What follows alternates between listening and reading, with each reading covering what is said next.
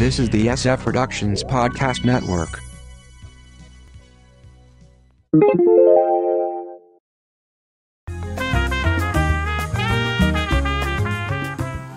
I guess it's not a mall world after all. From the Pop Culture Bunker, I'm Mindy. And I'm Mark. You can check out our audio podcast, How I Got My Wife to Read Comics, on iTunes or on our website, sfpodcastnetwork.com. If you're anywhere near our age, you grew up in the era of the shopping mall. Place to hang out, meet your friends, maybe even buy something. Yeah. Unfortunately, they're going the way of the dodo. So what happened? We need to go back to the beginning. Depending upon who you talk to, the first shopping mall is the Lakeview store in Minnesota in 1915, which was a three story building with stores on each level, or the Country Club Plaza in Kansas City in 1922, a group of stores put together that were only accessible via car, and that's still in operation. Or the Highland Park Shopping Village in Dallas in 1931, the first grouping of stores facing away from a street with a shared parking lot, also still in operation. Or the Valley Fair Shopping Center in San Jose, 1956, an anchored mall which started as an outdoor plaza. Or Southdale Center in Minneapolis, 1956, the oldest fully enclosed and climate controlled mall. Or the Great Western Shopping Center in Columbus in 1956, a shopping plaza or strip mall. It opened with a massive Seven Wonders of the World display. My folks toured it at the time. So let's define a shopping mall as an enclosed, climate controlled building exclusively for shopping with many stores and anchors, which are like the department stores on the ends or whatever. It was an outgrowth of the suburban movement. People wanted a secure, comfortable place they could park once, walk around, and shop. The growth of the mall concept was astronomical. In 1960, there were 4,500 malls, which uh, resulted in 14% of all retail sales. By 1975, 16,400 malls, 33% of all retail. 1987, 30,000 malls, over 50% of all retail. And malls also grew in size and complexity. The West Edmonton Mall is the largest in North America at 3.8 million square feet and 800 plus shops, although it only ties for 19th worldwide.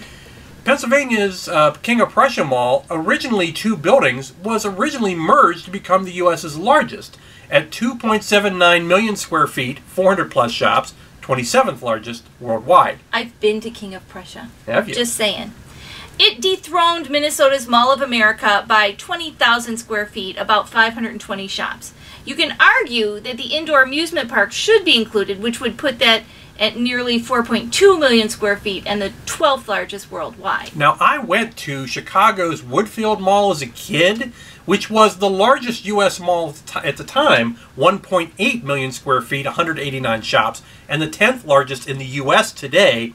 It's now at 2.1 million square feet and 300 stores.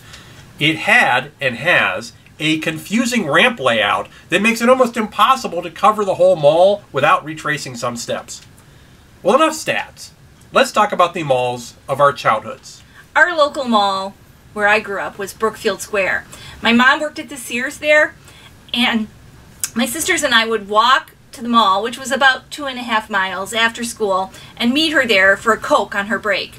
Back then, there was a Walgreens, and it had a restaurant attached. You know, that was part of the Walgreens there, and it, you, you would sit like along the mall and just watch the people walk by while you're waiting for your mom to get off work or whatever.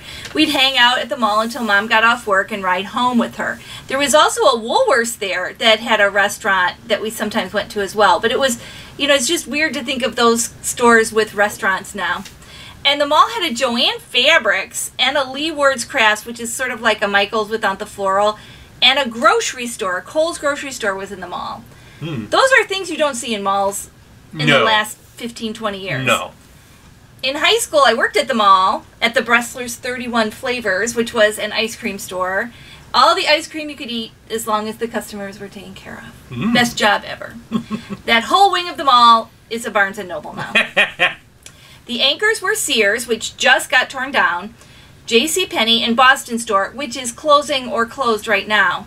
But the square has stayed more relevant than a lot of malls by adding lots of things accessible from the outside. Mm-hmm. There's the Barnes and Noble and a ton of restaurants. And the plan is to replace the Sears store with an entertainment and convention center. Another mall we sometimes went to was Mayfair Mall, which has been through a bunch of changes over time. At one point, it had an ice rink in the center of the mall. Hmm. According to Wikipedia, it is now the mall with the highest occupancy rate in the U.S., as well as way above average retail sales, but no ice rink anymore. Now, we lived a few miles from Belden Village Mall in Canton, Ohio, which was a very standard design.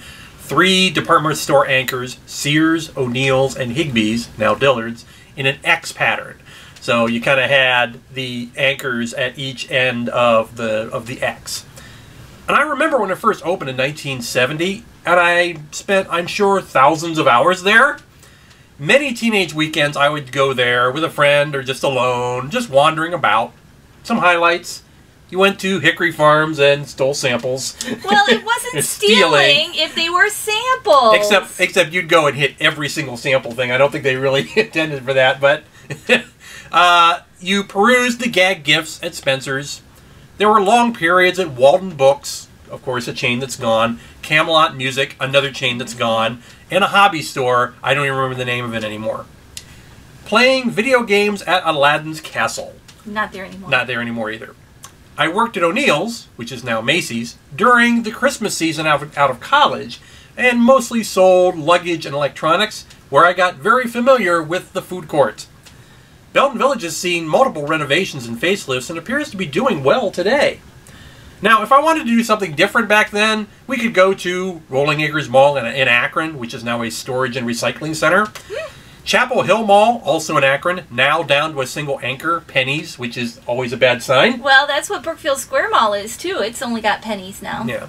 Randall Park Mall in the Cleveland area was 2 million square feet and one of the largest malls of the time. It was demolished in 2014, although it actually closed five years earlier. So it just sat there empty. And then there are the malls local to us in Columbus, mm-hmm. either today or since we've lived here. Since we've lived here, yeah. When, when I first moved here, I lived in viewing distance to Northland, a standard mall which lost all three anchors to a new competitor, Polaris Fashion Place, which we'll talk about in a second, in 2001, and it closed a year later. The old Lazarus anchor was actually kept in place, but it was resurrected, get it, Lazarus, to the offices of the state tax agency. Westland also lost out to a new competitor, Tuttle Crossing Mall, just a few exit north. By 2003, it had been turned into a bazaar mall where local businesses take store slots. It also was home to gun shows quite a bit. Yeah. It continued downward until the final tenant, the Sears anchor, left last year. No idea if it will be torn down or not. Eastland, the third one in that trio, is probably not far behind as their final anchor, also Sears, closed last year. We also had The Continent, a trailblazing mixed use indoor outdoor shopping center which was built in 1972. Mm-hmm. It included upper floor apartments with a European design. Mm-hmm. I proposed to Mindy there. The Continent, not our marriage, was badly managed and is a faint shadow of its former self. There's also Columbus City Center, a downtown mall that lasted only 20 years, from 1989 to 2009. When it opened, and for quite some time, it was the place to take out of town guests, and it was always jammed on the weekends. It was greatly helped by a local business. Limited brands filled many of the slots, with The Limited, Victoria's Secret, Bath and Body Works, Henry Bendel. Due to poor management, it went from 144 tenants to 8 before giving up the ghost. Now it's a large park, Columbus Commons. Tuttle Crossing is a late addition of a, sh- a traditional mall. It opened in 1997 with multiple anchors, and they seem to be doing fairly well today. Polaris Fashion Place, we mentioned a moment ago, is, as the name suggests, a clothing centric mall with 200 stores. It partly converted to an outdoor mall due to the impact of our next entry in 2007.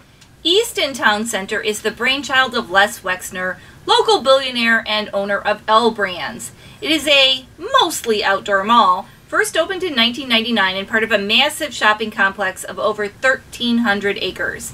Wexner used his pull to get stores that had never been in the Midwest. It's still hard to get your big toe into the place on weekends and was named one of the five most innovative malls in the world in 2011. As you might guess, Easton was also responsible for all the lands, north, east, and west's downfalls.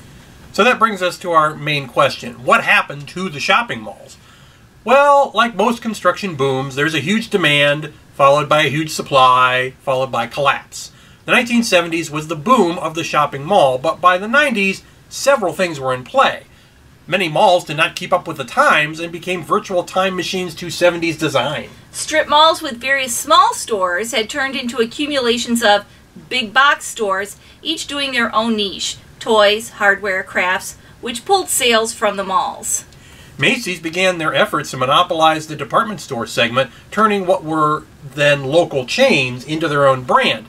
And this often left multiple Macy's as anchors in the same mall, which rarely worked, so Macy's would evacuate one or more of them. And since local chains were gone, those anchors were left vacant. Developers saw success, especially in warmer climates, of outdoor shopping centers, some of which could be driven through. This became an epidemic of construction all over the U.S., including the local Easton, and many indoor malls were partly converted into outdoor centers. Walmart's aggressive expansion and razor thin margins killed a lot of retail business in general, which, coupled with the housing crash of 2008, left many shopping malls vacant.